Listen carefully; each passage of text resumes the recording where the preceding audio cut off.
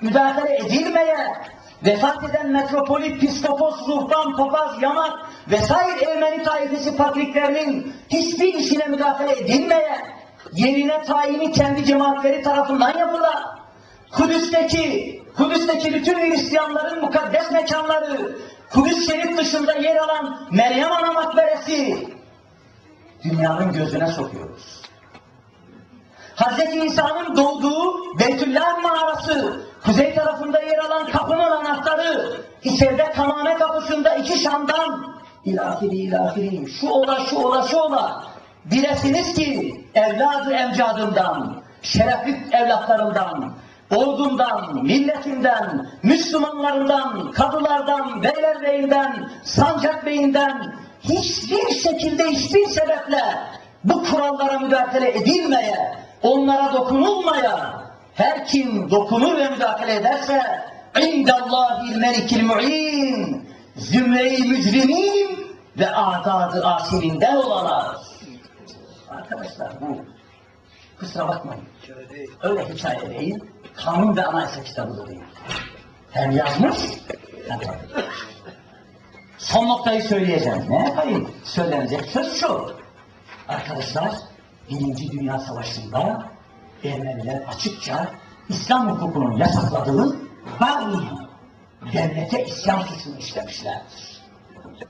Devlete isyan suçunu ne yapmışlardır? İşlemişlerdir. Neler koyduk? Burada. Yani devlete isyan hukukunu açıkça işlemişlerdir. Ne yapmışlardır? 1895'li yıllardan itibaren Ve Taşnak komitelerini kurup açıkça tüzüklerinde bizim en önemli gayemiz Ermenistan devletini kurmak ki o zaman Ermenistan bizim toprağımızdır. Şu anda kendimiz. Yahu senin devletinin içinde, senin vatandaşın senin devletini yıkıp yeni bir devlet kurmayı planlıyor. Bununla da kalmıyor. Ruslarla birleşip çoluk çocuğu kahrediyor. Bunun adına bahi suçu derler. Ne demek bahi suçu? Devlete isyan suçu. Devlete isyan suçunun İslam hukukundaki cezası nedir bilir misiniz? Mü'minu, özür dilerim, Mü'minu suresi diyorum. Hangi sure? Mü, he? Ha, Muhammed kitap değil mübarek. Şeyden önce, Kaf suresinden önce. Şey, Gücürat. Aslan. İslam alemi bulunmayınca zor oluyor. Yani. Tabi iki var. Hayır bak laf ediyorum. Hucurat suresinde çok açık bir şekilde. İster mümin ister gayrimümin. Grup devlete karşı isyan ederse açıkça cezası savaştır onlar. Kur'an-ı Kerim bunu ilan ediyor. Şimdi ben ayrıntıya girmemek için çok fazla sizi yormak da istemiyorum. 1887'de Cenevre'de Marksist Ermeniler tarafından Mıçak Cemiyeti kurulmuş. Arkasından Ermenistan'da biliyorsunuz Taşnak Partisi kurulmuş. Arkasından Osmanlı Devleti'nin padişahı olan 2. Abdülhamid'e suikast düzenlenmiş. Ya bu Yıldız Sarayı'na bomba atmışlar. Eğer Allah rahmet etsin 2. Abdülhamid Cuma namazına giderken abdestte biraz gecikme yapmasaydı Ermenilerin bombası etmeyecekti. Ve İstanbul'daki Aksaray'ı yakmış yıkmışlar. Günlerce Müslümanlar Aksaray'a girememiş. Nitekim Doğu Anadolu'da biliyorsunuz. Daha Birinci Dünya Savaşı'ndan önce İkinci Abdülhamit döneminde Müslüman Kürt kardeşlerimizi kesmeye başlamışlar.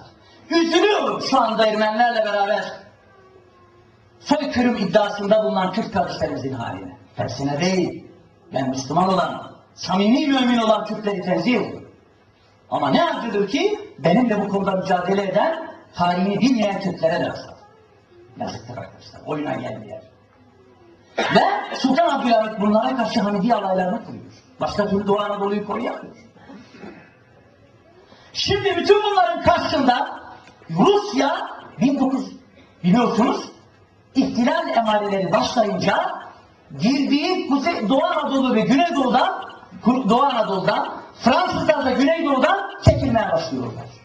Bütün silahlarını bakın belge elinde gösterir misiniz belgeyi? Yok ondan önce herhalde. Ondan. Hayır o değil. Evet. Devam et sonra. Devam et. Neyse karıştırdık. Ben size göstereyim. Açıkça Rus ordusu Rusya'daki Moskova arşivinden alınmış bir belgedir bu. Rus ordusu Ermenilere silah sevkiyatı yapıyor. Aynen Kur'an-ı Kerim'in anlattığı devlete isyan suçu teşekkür. Ve bu hadise üzerine Osmanlı hükümeti toplanıyor. Karar şu. Diyorlar ki Ruslarla ittifak ediyorlar. Müslüman çoluk ve çocuğu, Kürdü, Türk'ü, Arap'ı kesiyorlar. 800 binin üzerinde 1 milyonla 800 bin arasında Müslüman katletmişler. Ermeniler ve Ruslar. Sadece Doğu Anadolu ve Güneydoğu. Açıkça kesmişler. Buna karşı hükümet ne etsin? Hükümetin kararını ben aynen okuyayım. Kabul ediyor musun? Evet. Ne acıdır ki ben bir şey söyleyeyim.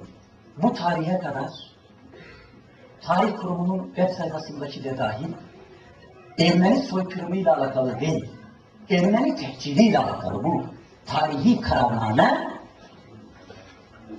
doğru olarak Türkçe'ye transkribe edilmemiş. Halimiz fazla iyi değil. Anlatabildim. Yok öyle değil. Zayıf. Üzülerek kederimizi arıyoruz. Şimdi okuyacağım Ermeni tehcir kararnamesini. Ben buna karşı çıkıyorum diyen Allah için hiç kızmayacağız ona. Parmağını kaldırsın karşımıza. Türkçeleştirdim. Orijinali mümkün değil. Bakanlar Kurulu müzakeresinin neticesinde savaş alanlarına komşu olan yerlerdeki Ermenilerden her yer değil. Bu cümleyi ezbere tutun. Hiçbir zaman İstanbul'daki Ermenileri sürmemişiz. Bu Batı Anadolu'daki Ermenileri sürmemişiz. İzmir'dekini sürmemişiz. Sadece savaş alanlarındakini sürmüşüz. Bu cümle çok önemli. Savaş alanlarındaki yerlerdeki Ermenilerden bir kısmının Osmanlı sınırlarını devletin düşmanlarına karşı korumakla meşgul bulunan ordunun hareketlerini zorlaştırmak. Askeri mühimmat ve erzak nakli güçleştirmek.